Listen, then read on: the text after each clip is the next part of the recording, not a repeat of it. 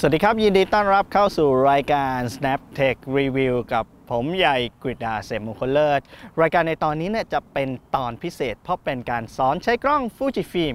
X-E3 ตอนที่1นะฮะทั้งหมดก็จะมี 5 ตอนยังไงอย่าลืมติดตามชมกัน เวลาที่เราได้เจ้าตัวกล้อง Fujifilm X-E3 มาเนี่ยนะฮะปกติถ้าแกะออกมาจากกล่องเนี่ยกล้องก็จะไม่ได้ประกอบร่างมาแบบนี้ เราก็จะต้องมาประกอบร่างตัวกล้องกันก่อนนะครับการประกอบร่างอย่างแรกเองก็คือในเรื่องของการใส่แบตเตอรี่นะฮะด้านล่างของตัวกล้องเนี่ยจะมีช่องสำหรับการใส่แบตเตอรี่เราก็ดันเพื่อที่จะเปิดฝาตัวนี้ขึ้นมา ในกล่องมีแบตเตอรี่ลิเธียมหน้าตาสี่เหลี่ยมแบบนี้มาให้นะครับข้อสำคัญที่เราจะดูก็คือว่าเราจะดูที่ mark ของเขาที่ท้ายของตัวแบตเตอรี่เนี่ยจะมี mark เป็นจุดสีส้ม เราก็เอาเจ้าจุดสีส้มตัวเนี้ยให้มันชนกับตัวล็อกแบตเตอรี่ในช่องใส่แบตเตอรี่ก็จะเป็นสีส้มเหมือนกัน เอาสีส้มชนกับสีส้มแล้วเราก็ใส่ลงไปตรงๆได้เลยนะครับ ตัวล็อกก็จะล็อกแบตเตอรี่เอาไว้ เวลาเราจะเอาออก เราก็แค่ดันตัวล็อกเนี่ยขึ้นไปด้านบน ก็จะเป็นการปลดล็อกแบตเตอรี่เราก็สามารถจะถอดแบตเตอรี่ออกมาได้นะครับ ตัว Memory Card ก็เหมือนกัน Memory Card เนี่ยถ้าจะ ใส่นะครับ บางครั้งเองเราจะงงว่าเอ๊ะหมุนทางไหนใส่ทางไหนดี แต่ว่าฟูจิเนี่ยเขาออกแบบมาแล้วก็คือว่าที่ฝาปิดแบตเตอรี่ของเขาก็จะมีสติ๊กเกอร์สีทองอยู่ แล้วก็ที่ Memory Card ของเราก็จะมีตัวหน้า Contact ที่เป็นสีทอง แล้วก็เอาสีทองกับสีทองชนกัน แล้วก็ใส่เข้าไปได้เลย แค่นี้เองแล้วเราก็ปิดฝานะตัวกล้องก็จะพร้อมทำงาน แต่ว่าถ้าเกิดว่าเราเอากล้องออกมาจากกล่องเลยเนี่ยนะฮะส่วนใหญ่ กล้องจะยังไม่ได้ประกอบเลนส์เอาไว้แบบนี้นะครับ วิธีประกอบเลนส์เขาก็จะมีตัว mark สีแดงอยู่เหมือนกันนะนิดหนึ่งนะพี่ใหญ่แนะนำว่าตัวเซ็นเซอร์ตรงเนี้ยนะครับเวลาที่เราถอดเลนส์แบบนี้เราจะเห็นตัวเซ็นเซอร์รับภาพ ซึ่งแนะนำว่าห้ามไปยุ่งกับมันเด็ดขาดห้ามโดนห้ามแตะห้ามสัมผัสนะครับห้ามเอาอะไรไปถูมัน เวลาจะใส่เลนส์เอาจุดสีแดงนะครับกับสีแดงชนกัน แล้วเราก็หมุนตามเข็มนาฬิกาให้มันดังคลิก ตอนใส่เลนส์เราไม่ต้องกดนะฮะก็คือหมุนตามเข็มนาฬิกาให้มันดังคลิก แต่ถ้าเราต้องการจะถอดเลนส์นะครับก็จะมีปุ่มสำหรับถอดเลนส์อยู่ด้านล่างตรงนี้ เราก็กดปุ่มตัวนี้แล้วก็หมุนทวนเข็ม อันนี้จะเป็นวิธีการถอดใส่เลนส์มาดูในเรื่องของการเปิดตัวกล้องกันบ้าง หลังจากที่อักประกอบเรียบร้อยแล้วนะครับ การเปิดตัวกล้องเองเนี่ยสวิตช์ปิดเปิดของเขาจะอยู่ใต้ปุ่มชัตเตอร์ตรงนี้ เราก็ดึงมา มันก็จะเป็นการเปิดตัวกล้องขึ้นมา เขาจะมีเป็น on กับ off นะครับ ก็ดันมาทางที่มันเป็น on ก็จะเป็นการเปิดตัวกล้องแล้ว แล้วก็จะมีอีกหนึ่งก้านสวิตช์ ซึ่งก็จะเป็นสวิตช์สำหรับการเปิดระบบ auto ที่เขาเขียนไว้ที่ตัวกล้องตรงนี้ว่าเป็น auto นะครับ เวลาที่เราสับมาที่สวิตช์ auto เองเนี่ย ตัวกล้องจะทำงานแบบอัตโนมัติทั้งหมด คือเราไม่ต้องทำอะไรเลย ไม่ต้องคิดอะไร มีหน้าที่แค่ซูมเข้าซูมออก แล้วก็กดชัตเตอร์ กล้องก็จะถ่ายภาพให้ประมวลผลอะไรให้เรียบร้อย แต่ถ้าเกิดว่าเราอยากใช้งานในส่วนของแมนนวลหรือว่า กึ่งแมนนวลนะครับอยากจะควบคุมระบบเองบ้างเนี่ยเราก็ดันก้านตัวนี้เนี่ยนะฮะขึ้นมาด้านบนแทนแทนที่จะชี้ไปอยู่ที่ออโต้คราวนี้ก็จะเป็นในโหมดของmanual ละนะครับซึ่งเราก็สามารถจะควบคุมเรื่องของ speed shutter กับรูรับแสงได้ ตัวแป้นตรงนี้เนี่ยนะครับแป้นอันใหญ่ๆเนี่ยจะเป็นแป้นสำหรับการคุม speed shutter ซึ่งก็จะมีตัว A เป็น auto หมายความว่าถ้าเราทิ้งแป้นตัวนี้เอาไว้ที่ตัว A นะครับเลือกมาที่ตัว A เนี่ย ตัวกล้องจะเลือก speed shutter ให้โดยอัตโนมัติ แต่ถ้าเกิดว่าเราอยากจะคุม speed shutter เอง เราก็หมุนตามตัวเลขที่เราต้องการได้เลย เดี๋ยวเรื่องของ speed shutter กับรูรับแสงเนี่ยพี่ใหญ่อธิบายให้ในตอนต่อไปว่าแต่ละอันเอาไว้ทำอะไรหรือว่าเราต้องการจะควบคุมอะไร แต่ตอนนี้นะฮะรู้ก่อนแค่ว่าตัวนี้จะเป็นแป้นสำหรับการคุม speed shutter ต่อมาอีกหนึ่งแป้นนะครับ แป้นตัวนี้ที่มันมีเขียนตัวเลขเป็น 0 บวก 1 ลบ 1 ตรงนี้จะเป็นแป้นสำหรับการปรับค่าชดเชยแสง คือเราสามารถที่จะปรับถ้าไปทางบวกเนี่ยก็คือภาพมันก็จะสว่างขึ้น ถ้าไปทางลบภาพมันก็จะมืดลง อันนี้ก็จะเป็นการปรับชดเชยแสงได้ แล้วก็อีกหนึ่งปุ่มด้านบนก็คือปุ่ม FN หรือว่าปุ่มฟังก์ชัน ตัวนี้จะเป็นปุ่มที่เราสามารถที่จะตั้งได้ 1 เมนู อยากใช้เมนูไหน หรือใช้เมนูไหนบ่อยๆ เราสามารถที่จะตั้งไว้ที่ปุ่มตัวนี้ได้ เวลาที่จะใช้งานเราก็แค่กดปุ่มฟังก์ชันตรงนี้ขึ้นมา หรือถ้าเราจะเข้าไปเซตเมนูในปุ่มฟังก์ชันตัวนี้ วิธีการเซตง่ายมากครับ ก็แค่กดปุ่มฟังก์ชันตัวนี้ค้างเอาไว้นะฮะหน้าจอเนี้ยก็จะมีเมนูขึ้นมาให้เลือกว่า เราอยากจะให้เจ้าปุ่มฟังก์ชันตัวนี้เป็น เมนูอะไร แล้วก็ที่ด้านหน้าของตัวกล้องก็จะมีตัวที่เขียนไว้ว่าเป็น S เป็น C เป็น M อันนี้จะเป็นสวิตช์สำหรับการเลือกระบบโฟกัส คือถ้าเราตั้งเป็น S ก็จะเป็น Auto Focus Single คือแตะชัตเตอร์ครึ่งหนึ่งครั้งเอาไว้เนี่ยกล้องจะล็อกโฟกัสเอาไว้ให้ จะไม่มีการหาโฟกัสใหม่นะครับโดยปกติพี่ใหญ่แนะนำให้ตั้งเป็น S นะฮะก็คือ Auto Focus Single แต่ถ้าเราสับมาเป็นตัว C อันเนี้ยจะเป็น สวิตช์สำหรับการเลือกหรือว่าโหมดสำหรับการเลือกระบบ Auto Focus ในการถ่ายภาพที่มีวัตถุเคลื่อนไหวในภาพ อย่างเช่นการถ่ายกีฬา การถ่ายสัตว์เลี้ยงที่วิ่งไปวิ่งมาอะไรแบบนี้นะครับ ก็จะใช้เป็นตัว C คือ Auto Focus Continuous ส่วนอันสุดท้ายก็คือตัว M อันนี้จะเป็น Manual Focus คือเราจะต้องหมุนโฟกัสเองที่แหวนที่ตัวเลนส์กล้องจะไม่ จับโฟกัสให้อัตโนมัติแล้วนะครับ ระวังนิดหนึ่งเพราะว่าอันเนี้ยหลาย ๆ คนมาถามพี่ใหญ่ว่าเอ้ยทำไมอยู่ดีๆ กล้องโฟกัสภาพไม่ได้ หรือว่าโฟกัสภาพแล้วมันดูมันหลุดนะฮะก็มาลองดูสวิตช์ตรงนี้ก่อนว่าเราตั้งเป็นอะไรเอาไว้ ปกติพี่ใหญ่แนะนำให้ตั้งเป็นตัว S Auto Focus แบบซิงเกิลที่ตัวเลนส์เนี่ยโดยปกติเขาก็จะมีแหวนอันเล็ก อันเนี้ยจะเป็นแหวนที่เลือกการปรับรูรับแสง โดยที่ว่าเขาก็จะมีสวิตช์นะฮะเหมือนกันก็คือจะมีเป็นตัว A auto กับเป็นรูรับแสง เวลาที่เราใช้งานถ้าเราอยากจะให้กล้องคิดค่ารูรับแสงให้โดยอัตโนมัติ เราก็ตั้งมาที่ตัว A ก็จะเป็น auto ถ้าเราตั้งตัว A ที่รูรับแสงเป็น auto ที่ shutter speed เป็น auto เหมือนกันเนี่ยก็จะเป็นโหมด P หรือว่าโหมดโปรแกรม เดี๋ยวตรงเนี้ยพี่ใหญ่อธิบายให้อีกทีในตอนหน้านะครับ แต่ว่าอันเนี้ยแนะนำให้รู้ก่อนว่าแต่ละอันมันคืออะไรแล้วก็อยู่ตรงไหน แต่ถ้าเอาง่ายแนะนำว่าตั้งไว้ที่ตัว A ก็คือเป็นออโต้ก่อน อันนี้ก็คือสวิตช์ที่ตัวเลนส์แล้วก็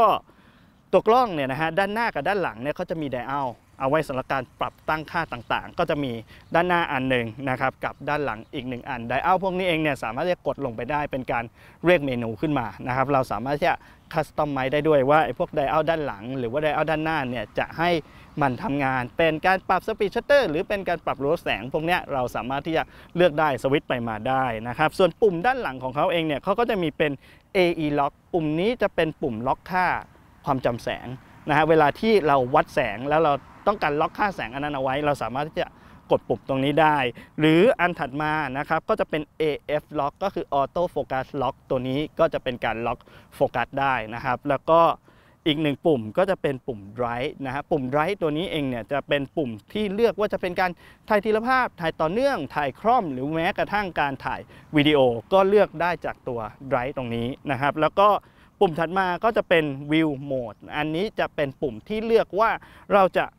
มองช่องมองภาพแบบไหน คือเราจะใช้หน้าจอด้านล่าง หรือว่าเราจะใช้ช่องมองภาพที่เป็น electronic viewfinder ด้านบน หรือว่าจะให้ตัวกล้องสวิตช์ให้อัตโนมัติ ตรงนี้เราสามารถที่จะเลือกรูปแบบการมองภาพจากตัว view mode ตรงนี้ได้ ด้านล่างตรงนี้ก็จะมีเป็นจอยสติ๊กจอยสติ๊กอันนี้ก็จะเอาไว้เลื่อนขึ้นลงซ้ายขวา ซึ่งพี่ใหญ่ค่อนข้างที่จะชอบเพราะว่าจอยสติ๊กตัวนี้เนี่ย ปรับเคลื่อนที่ได้รวดเร็วแล้วก็ตามใจนะฮะคือมันอยู่ที่ปลายนิ้วเราเลยนะฮะเราจะขึ้นลงซ้ายขวาก็ใช้ปลายนิ้วเขี่ยเอาก็สะดวกดี แล้วก็ปุ่มต่อมาก็จะเป็นปุ่ม menu OK ก็คือปุ่มสำหรับการเลือกเข้าไปตั้งค่าของตัวกล้อง เข้าไปในเมนูของตัวกล้องนะครับปุ่มถัดมาก็จะเป็นปุ่ม Display กับ Back ปุ่มตัวนี้เองจะเอาไว้สวิตช์เลือกโหมดการแสดงผลของตัวกล้องว่าอยากให้ กล้องเนี่ยนะฮะมันโชว์ information อะไรขึ้นมาที่หน้าจอบ้าง แล้วก็อันสุดท้ายด้านล่างตรงนี้ก็จะเป็นปุ่ม playback เอาไว้เข้าไปในโหมดดูภาพ ถ่ายภาพมาเสร็จอยากดูภาพ เราก็กดปุ่ม play ตรงนี้ขึ้นมา แล้วก็อีกหนึ่งปุ่มที่เรียกว่าเป็นไฮไลท์ของฟูจิเลยก็คือปุ่มนี้ฮะ ตัว Q Q ตัวนี้จะเป็น Quick Menu ก็จะเป็นเมนูที่ใช้บ่อยๆ เขาจะเอามาเรียงไว้ที่หน้าจอ เวลาใช้งานเราก็แค่กดปุ่ม Q เข้าไป เขาก็จะมีเมนูขึ้นมาให้ แล้วเราก็สามารถที่จะใช้ไดอัลด้านหลังเนี่ยเป็นตัวปรับเลือกค่าต่างๆ ได้ แล้วก็ เวลาที่เราใช้งานเรารู้สึกว่าเอ้ยเราใช้เมนูอย่างอื่นบ่อย ที่มันไม่มีอยู่ในปุ่ม Q ตรงนี้เนี่ยเราสามารถจะคัสตอมไมซ์เองได้ โดยการกดปุ่ม Q ค้างเอาไว้ ก็จะเป็นการเข้าไปในเมนูของการคัสตอมไมซ์หรือว่าการเซตหน้าจอเองว่าอยากจะให้มันมีเมนูหรือฟังก์ชันอะไรอยู่ในปุ่ม Q บ้างครับ ตัวกล้อง Fujifilm X-E3 เนี่ยนะครับจะมีหน้าจอ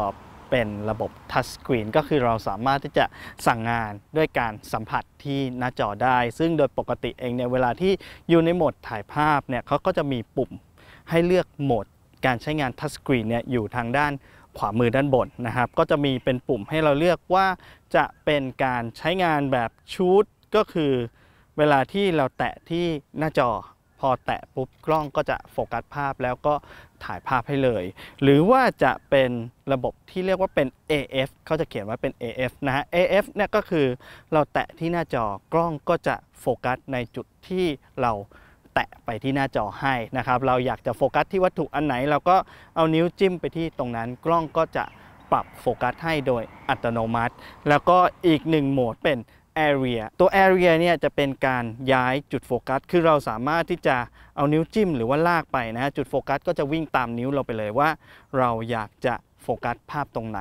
แต่สิ่งที่มันต่างกันก็คือถ้าเป็น AF เนี่ยเราจิ้มไปกล้องจะโฟกัสให้ทันที แต่ถ้าเป็น area เนี่ยมันจะเป็นการย้ายจุดโฟกัสไปเฉยๆนะครับ ตัวกล้องเนี่ยจะไม่โฟกัสให้ทันที เราจะต้องมาแตะชัตเตอร์ เพื่อที่จะโฟกัสอีกทีหนึ่งก็อยู่ที่ความสะดวกในการใช้งาน แล้วก็อันสุดท้ายก็คือเป็น off off ตัวนี้ก็คือเป็นการปิดระบบการทำงานด้วยการสัมผัสหน้าจอไปนะครับ แต่ว่าตัวกล้องตัวนี้เนี่ยไม่มีปุ่มขึ้นลงซ้ายขวา ที่หน้าจอเนี่ยจะ มีฟังก์ชันที่ใช้งานแทนปุ่มขึ้นลงซ้ายขวาก็คือการปัดหน้าจอ เราสามารถที่จะปัดหน้าจอไปทางซ้ายทางขวาขึ้นบน หรือว่าลงล่างได้ แทนปุ่มทิศทางเป็นการเรียกเมนูตรงนี้ วิธีการใช้งานเนี่ยก็ง่ายมากก็แค่ปัดจากตรงกลางนะครับ ปัดจากตรงกลางจอเนี่ย ไปทางซ้ายหรือทางขวา แต่ว่าเท่าที่พี่ใหญ่ลองเนี่ยต้องบอกว่าการปัดเนี่ยจะต้องมีความเร็วพอสมควร คือถ้าปัดช้าๆเนี่ยกล้องเขาจะไม่ activate ให้นะครับ แล้วเวลาที่ตัวเมนูเขาขึ้นมาแล้วเนี่ยเราสามารถจะใช้ตัวหน้าจอทัชสกรีนนะครับเลื่อนเมนูขึ้นลงได้ เราสามารถที่จะเลือกเมนูได้จากการสัมผัสหน้าจอเลย แล้วการปัดขึ้นลงซ้ายขวาตรงนี้เนี่ยเราสามารถที่จะ คัสตอมไมซ์เมนูเองได้เมนูไหนเราใช้บ่อยนะครับจะใช้เป็นเมนูลัดเนี่ยเราก็แค่เข้าไปตั้งค่าในเมนู การตั้งค่าเนี่ยก็คือเข้าไปที่เมนูแล้วก็เลือกมาที่เมนูรูปประแจ เลือกเข้าไปที่ตัว button dial setting ที่ตัวฟังก์ชัน setting พอเข้าไปข้างในเนี่ยมันจะเป็นการเซต ปุ่มฟังก์ชันของตัวกล้องรวมถึง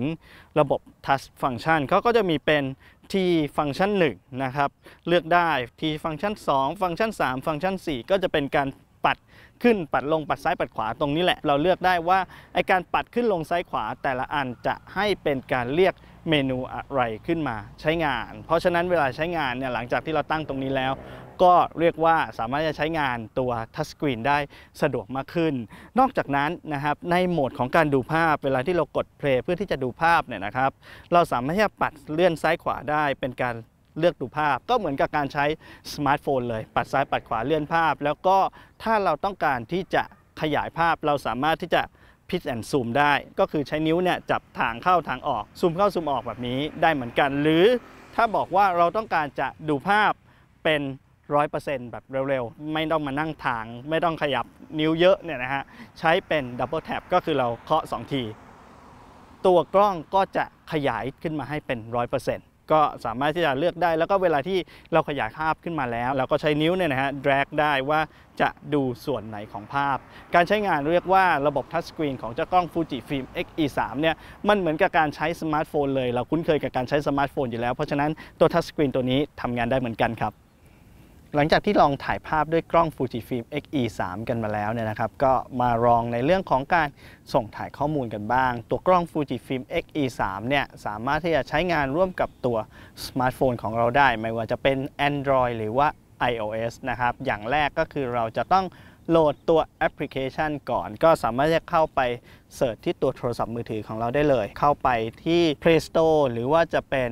App Store ก็ได้นะฮะ แล้วก็พิมพ์ search คำว่า Fuji Film Camera Remote เวลาที่เรา search ขึ้นมาเนี่ยเขาก็จะมีตัวแอปพลิเคชัน เป็นสัญลักษณ์สีเขียวๆนี่แหละ เราก็ดาวน์โหลดมาลงที่ตัวโทรศัพท์มือถือของเราก่อน หลังจากนั้นพี่ใหญ่แนะนำว่าสิ่งที่ควรจะทำต่อจากการดาวน์โหลดแอปพลิเคชัน แล้วก็คือการเชื่อมต่อบลูทูธนะครับ เวลาที่เราเชื่อมต่อบลูทูธครั้งแรกเองเนี่ยก็มาที่ตัวกล้องแล้วก็กดปุ่มเมนูขึ้นมา แล้วก็เลือกเป็นรูป ประแจ เลือกเป็นตัว connection setting เข้าไป ก็จะเจอเมนูอันแรกเลย เป็นเมนูที่เขียนว่า Bluetooth setting เข้าไปในเมนูอันนี้ แล้วก็อันแรกอีกเหมือนกันก็จะเป็น pairing registration ซึ่งอันเนี้ยจะเป็นเมนูสำหรับการสั่ง pair Bluetooth ระหว่างตัวกล้องกับตัวโทรศัพท์มือถือของเรานะครับ เราก็เลือกเข้าไปที่ตัว pairing อันนี้ กล้องก็จะบอกว่าเขาปล่อยสัญญาณบลูทูธออกมาแล้วนะ เราก็สามารถที่จะ เข้ามาที่ตัวโทรศัพท์มือถือของเรา แล้วก็เปิดตัวแอปพลิเคชัน บางคนจะงงว่า เอ้ย ไม่ต้องเข้าไปที่ setting แล้วก็ไป pair ในบลูทูธเองเหรอ ไม่ต้องนะครับ อันนี้เนี่ยนะฮะแค่เปิดตัวบลูทูธที่ตัวโทรศัพท์มือถือของเราก่อน เปิดเอาไว้แล้วก็เข้ามาที่ตัวแอปพลิเคชันที่เราดาวน์โหลดมาได้เลยนะครับ พอมาในหน้าของแอปพลิเคชันเองเนี่ย ด้านล่างของเขาก็จะมีเป็น Pair Registration พอเรากดเข้าไปตัวมือถือก็จะหา บลูทูธจากตัวกล้อง แล้วเขาก็จะโชว์ขึ้นมาเป็นชื่อกล้อง แล้วก็กดเลือกตัวกล้องของเราไป เท่านี้เอง กล้องก็จะแพกบลูทูธกับตัวโทรศัพท์มือถือแล้ว แล้วก็การทำงานของเขาเองเนี่ยนะครับ ก็ใช้งานง่ายมาก คือกล้องเนี่ยจะต่อบลูทูธกับมือถือเอาไว้อยู่ตลอดเวลา อ้อนิดหนึ่งคือเวลาที่เราแพรกล้องกับโทรศัพท์มือถือครั้งแรก จะถามด้วยว่าจะให้เอาวันที่เวลาของตัวมือถือไปใส่ไว้ที่ตัวกล้องไหม พอเชื่อมต่อตรงนี้เสร็จนะครับเขาก็จะโชว์เป็นหน้าจอการใช้งานตามปกติ คือเขาจะมีเป็น Remote Control เป็น Receive เป็น Browse แล้วก็ Geo Tagging นะฮะ อันนี้เนี่ยเราเลือกได้ คืออย่างถ้าใช้งานเป็น Remote Control เราก็กดไปที่ Remote ตัวกล้องก็จะสามารถที่จะควบคุมได้จากตัวโทรศัพท์มือถือของเรานะครับเขาจะแสดงภาพขึ้นมา แล้วก็มีหน้าจอเหมือนกับเราเห็นอยู่ที่ หลังกล้องเลยนะครับ เราสามารถจะจิ้มเลือกจุดโฟกัสได้ด้วยว่าเราจะโฟกัสตรงไหน โดยที่ว่าเราไม่ต้องไปแตะที่ตัวกล้องปล่อยตัวกล้องทิ้งไว้นะครับ สามารถจะปรับตั้งค่าต่างๆ ได้กดเมนูขึ้นมา หรือว่าจะถ่ายวิดีโอก็ทำงานได้ เพราะฉะนั้นมือถือตัวนี้ก็จะกลายเป็นรีโมทในการควบคุมกล้อง แต่ว่าโอเค ถ้าบอกว่าเราไม่ควบคุมกล้องละนะฮะเราจะเอาภาพเราจะดูภาพ ก็อย่างที่บอกเมื่อกี้คือเราแค่กด playback นะครับแล้วก็กดปุ่มฟังก์ชันให้เขา ปล่อย Wi-Fi ออกมา การที่จะดึงภาพจากกล้องมาเนี่ยของฟูจิเขาจะมี 2 วิธีก็คือวิธี receive พอกด receive เข้าไปเองเนี่ย